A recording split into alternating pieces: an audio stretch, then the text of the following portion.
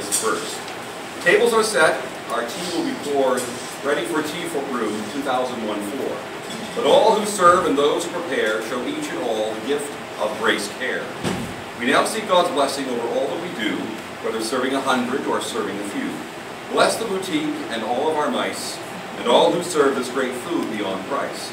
Now bring us a big smile to everyone's face, and thank you, Lord Jesus, for the gift we call grace. Amen. Your grace and blessing we seek, Heavenly Father, on this our ministry of service and love. We thank you for the good fruits of your earth. Guide us as we prepare and share them with others. Keep us mindful, O Lord, that the treasure we collect in exchange for these meals is yours and yours alone. Direct us as we give it away, as you would have us to do. Finally, Father, we thank you for this time together as friends and family, serving you by serving others. In the name of the risen Lord, we pray. Amen. Start your engines.